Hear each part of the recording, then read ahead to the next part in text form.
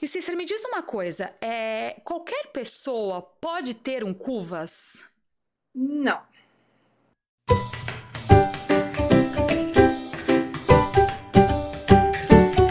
É, a origem dele é húngara, né?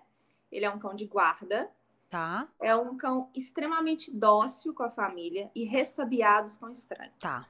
A gente costuma falar que estranho sozinho na residência não entra. Uhum.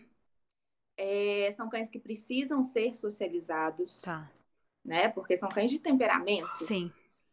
Então, é muito importante essa socialização. Legal.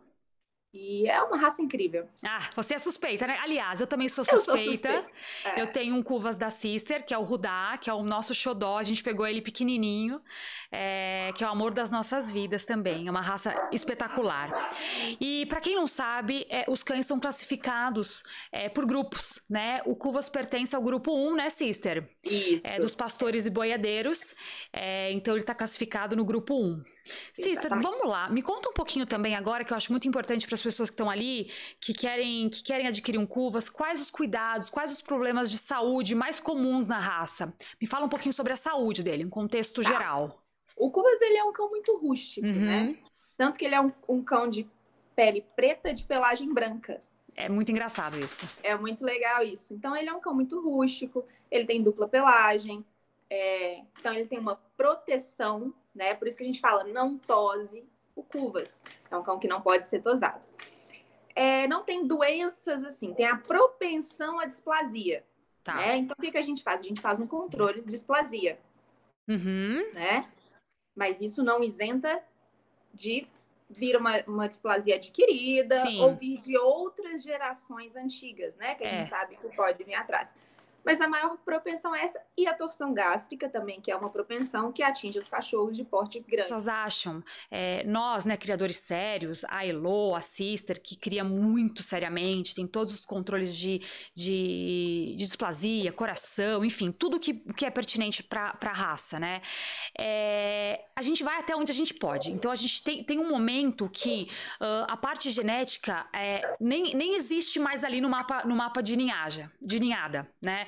É, na- então, assim, é, existe um momento que nem com tanto estudo a gente consegue chegar. Então, existem passados e passados que vai além disso, né? Então, às vezes acontece. E também muito cuidado e zelo do dono. Então, por exemplo, um cão gigante, né? Que a gente tá falando do Cuvas. Jamais deixar em piso escorregadio, né? Exato. É, Na fase de, de, de, de jovem, na fase de, de filhote, gente, muito cuidado com as brincadeiras. Eles às vezes estão brincando, escorrega, brincando com outro cão. Então, assim, é cuidado extremo, né? Com cães Exatamente. gigantes. Não se pode Isso. brincar. É, Evitar então, o sobrepeso é muito importante. Né? exatamente. Porque, ai, ele vai chegar numa idade de um ano que ele vai estar alto, ele vai estar parecendo magro. É. É. normal, é a idade do patinho feio. É né, isso, e para toda a raça, né? É. Então é muito importante não deixar um sobrepeso nele nessa idade, que ele está desenvolvendo, né? Toda a Exatamente. musculatura, toda a ossatura, tudo. É, exatamente. Ahn, vamos lá, falar um pouquinho também sobre as características e personalidade da raça. Vamos lá. É, é um cão extremamente dócil, né? Igual eu Uhum. falei com a família, mas ressabiado com estranho. Tá. Personalidade É, bem forte, né? Sim, sim, são territorialistas. São cães extremamente territorialistas. Tá. Precisa, eu acho que como qualquer outro cão, eles gostam de ter uma rotina e precisam de disciplina. Perfeito. Vai chegar uma idade, vamos colocar cada um, cada cachorro é de um jeito, Aham. né? Seu temperamento. Mas vai chegar uma idade que ele vai te testar. Tá. E ele vai falar, eu que mando. Aí a hora que você fala, não. E, gente, eu não tô falando de bater, de nada disso. Não, é é corrigir, apenas né? o tom de voz que você usa com seu cachorro, Tá. né? Perfeito. Então, quando você tem isso, você tem uma disciplina, você tem uma rotina, você educa o seu cachorro. Vamos educar o filhote para ter um adulto educado, Perfeito.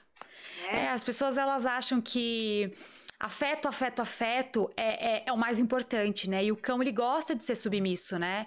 O Cuvas, Sim. principalmente um cão de guarda tão poderoso, né? Eu sempre falo isso aqui em casa, que as pessoas falam, nossa, como todo mundo vive em harmonia, igual na sua casa, né, sister? Exatamente. Por quê? Porque a gente tem pulso firme, porque gente, eles sabem que quem manda na nossa casa, quem manda na casa deles é a gente, né? Eles têm um líder. Então, Sim. isso é muito importante para que as pessoas... É, é, ah, eu quero adquirir um cão de guarda... Gente, é pulso firme, né? Exatamente. É, é, não, não, ah, mas é filhotinho, é bonitinho. Mas é aí que você se engana, porque quanto mais você conseguir dar para este filhote disciplina, é o que a Sister falou, vai ser um é. cão adulto exemplar. E não centrado, né? E centrado. Equilibrado, né? O equilíbrio num cão Equilíbrio. de guarda, eu acho é. que é o que eu mais falo, assim. Eu sempre tive muito medo de ter um cão de guarda. Você lembra disso? Sim. Porque, sim. imagina, eu, eu, sempre vivi com Terra Nova, com os cães de companhia, né? Os Exatamente. molossoides. E aí, a primeira vez que eu fui ter um cão de guarda foi o Rudá da Sister. E a experiência, assim, foi única. E é o que eu falo hoje. Hoje, eu falo pra Sister, eu nunca vou deixar de ter um Cuvas, assim. Porque... E eu tenho uma canicorso, que é um, um cão de guarda também. Mas o comportamento dela na fase. Na, dos dois, né? Eu tô comparando os dois. Na fase de é, infância, é, adolescência.